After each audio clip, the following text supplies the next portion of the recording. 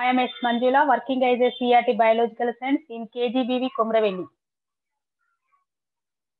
My topic is coordination. My subtopic is peripheral nervous system and autonomous nervous system. Today we will discuss about the peripheral nervous system and autonomous nervous system.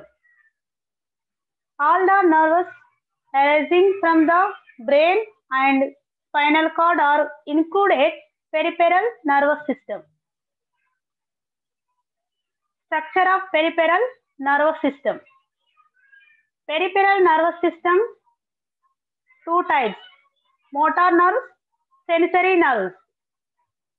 Motor nerves two types somatic, autonomic. Autonomic also two types sympathetic and parasympathetic. Peripheral nervous system PNS consists of two sets of nerves cranial nerves and spinal nerves. The peripheral nervous system has 43 pairs of nerves of these 12 pairs are called cranial nerves and the rest of 31 pairs called spinal nerves. Look at this picture. All that nerves attached to the spinal cord have two types connections or roots. One of the back are dorsal side and other two front or the ventral side of cord. The gray matter of the spinal cord appears like butterflies or in the shape of letter H. Each segment of the H-shaped gray matter is called horns. The upper horns are called dorsal horns and the lower horns are called ventral horns. The sensory fibers originate from the dorsal horn of the spinal cord. They carry information from body organs to spinal cord. The motor fibers take their origin from the ventral horns of the spinal cord. These supply information required for the movements of the muscles. The peripheral nervous system has two separate divisions based on voluntary and involuntary responses.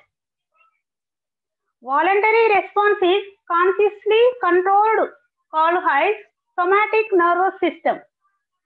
Involuntary response is unconsciously controlled as autonomic nervous system. Autonomic nervous system. Many involuntary actions like heartbeat, breathing, digestion, etc.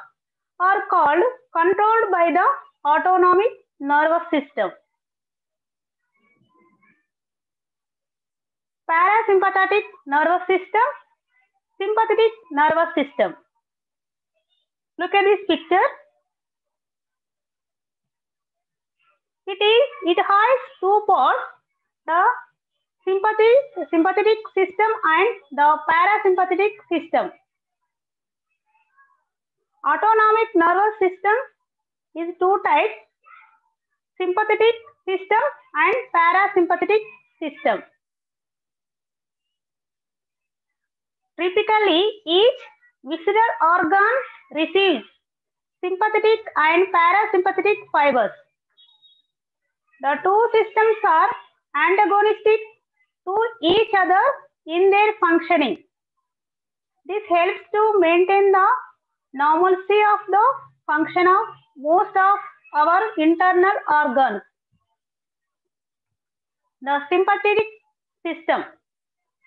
It consists of two chains of ganglia situated on either side of the vertebral column that supply nerves to the various internal organs. The parasympathetic system. It consists of nerves that originate from the brain and spinal cord. The nerves pass directly to the various internal organs.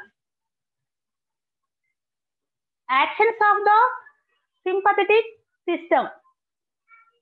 It speeds up the heartbeat, sends additional blood to the muscles, increases salivary secretion, dilates the pupils of the eyes, constructs blood vessels. Actions of the parasympathetic system. It slows down the heartbeat, diverts blood from muscles to the stomach and small intestine, decreases the salivary secretion, contracts pupils of the eyes, dilates blood vessels. Thank you.